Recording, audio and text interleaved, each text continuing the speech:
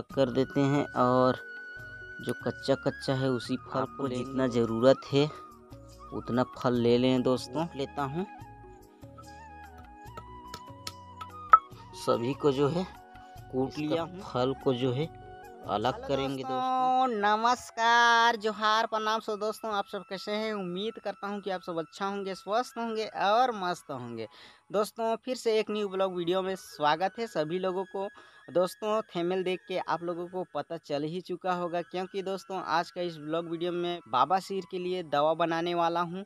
दोस्तों, एक दादाजी हैं, वही मेरे को जानकारी दिए हैं और उनके बताए हुए अनुसार से उस दवा को मैं आज तैयार करने वाला हूँ। तो चलिए दोस्तों, वीडियो में कंटिन्यू बने रहें और वीडियो अच्छा लगे तो एक प्यारा सा लाइक करना ना भूलें और साथ ही साथ मेरा यूट्यूब चैनल को सब्सक्राइब तो दोस्तों, यहाँ का नज़ारा का बात किया जाए तो कुछ इस प्रकार का है। देख सकते हैं, काफ़ी खूबसूरत नज़ारा है दोस्तों और पीछे साइड देख सकते हैं, बहुत घना जंगल है और उनके बताए हुए अनुसार से मैं उस दवा को तैयार करता हूँ। तो चलिए वीडियो में कंटिन्यू बने रहें दोस्तों। तो दोस्तों, दादाजी ने बताए हुए हैं उन चीज़ों को मैं जो है इकट्ठा कर लिया हूँ, देख सकते हैं और यहाँ का नज़ारा कुछ इस प्रकार का है, देख सकते हैं। और ये देख सकते हैं दोस्तों, उनकी बताए हुए अनुसार से मैं ले लिया हूँ। कड़ुआ नीम का फल, ये देख सकते हैं, बहुत सारा है, तोड़ कर लाया हूँ। और ले लिया हूँ दोस्तों कपूर और ले लिया हूँ रुई। तो चलिए वीडियो में कंटिन्यू बने रहें और इस साइड जो है हम लोग गाँव देहात में सील बो, बोलते हैं। इस सील से जो है, मैं दावा तैयार करूँगा। तो चलिए, इसको थोड़ा सा धो लेते हैं। दोस्तों, देख सकते हैं, धो लिया हूँ। तो चलिए दोस्तों, इसका फल को जो है, निकाल लेते हैं। पका हुआ फल को नहीं लेंगे। पका हुआ फल को अलग कर देते हैं और जो कच्चा कच्चा है उसी फल को लेंगे दोस्तों। तो इसको अलग कर लेते हैं। बहुत ही अच्छा जानकारी मेरे को दिए हुए हैं। एक दादाजी हैं वो, और उन्हीं का बताए हुए अनुसार से मैं बाबा सिर के लिए दवा बता रहा हूँ दोस्तों।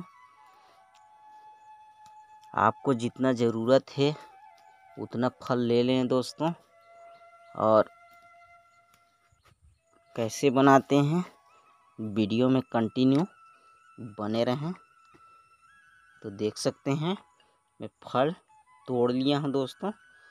अब इसको जो है बनाने वाला हूँ दवा। तो चलिए दोस्तों, इसको मैं कूट लेता हूँ। इसको अच्छी तरीक़ा से इसी प्रकार से कूटना है दोस्तों। ताकि इसका दूध जो है बाहर निकल जाए।